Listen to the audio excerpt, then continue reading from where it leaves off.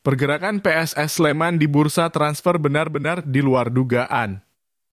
Terupdate, PSS Sleman dikabarkan dikaitkan dengan mantan bintang alumnus Wolverhampton, Philemon Ofosu Ayah. Bicara peluang, klub kebanggaan BCS memiliki kans yang terbuka lebar dalam perekrutan Philemon Ofosu Ayah. PSS Sleman tak perlu menebus durasi kontrak tersisa Philemon Ofosu Ayah yang baru usai 31 Desember 2024 dengan klub asal Swedia Halmstads BK. Pasalnya, Philemon Ofosu Ayah sudah resmi diumumkan dilepas oleh Halmstads BK pada Kamis tanggal 11 Juli 2024. Lebih lanjut, apabila Philemon Ofosu Ayah berhasil didatangkan PSS Sleman, maka dipastikan sosoknya akan menjadi pemain kedua dari Liga Utama Swedia yang putuskan merapat ke Liga 1.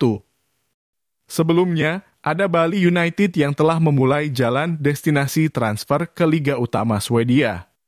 Saat itu, Bali United berhasil mendatangkan gelandang Ostersunds FK, Bruanouri.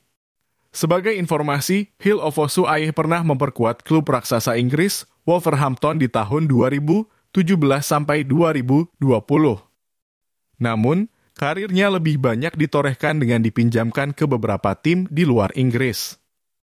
Terutama di tim asal negara kelahirannya Jerman, seperti klub kasta kedua, Hansa Rostock. Fullback kanan berusia 32 tahun itu juga pernah bermain untuk klub divisi 4 Jerman Wolfsburger Kickers. Menarik dinantikan akankah kode dilepasnya Philemon Ofosu Aih merupakan sinyal kuat PSS Sleman bakal mendapatkan tanda tangannya atau justru malah sebaliknya. Terima kasih sudah menonton. Jangan lupa like, komen, share, dan subscribe.